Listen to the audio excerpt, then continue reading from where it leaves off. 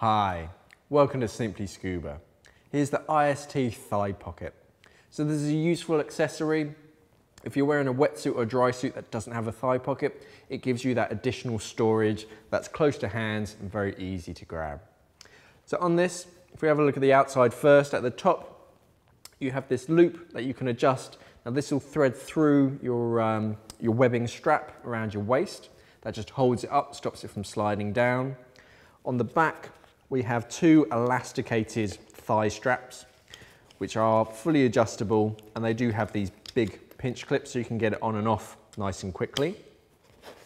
On the front, you have a Velcro pocket that you can put slates or, um, or a thin reel, just your, uh, your essentials that you can get to nice and quickly.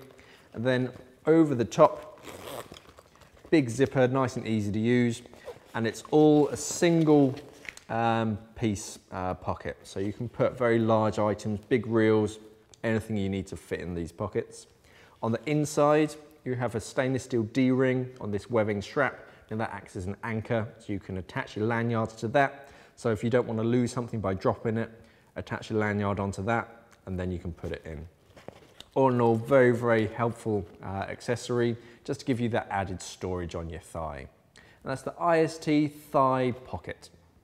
For the latest news and information, go to our social links over here. And if you miss my latest Simply Scuba Live, click on the link at the bottom. Thanks for watching.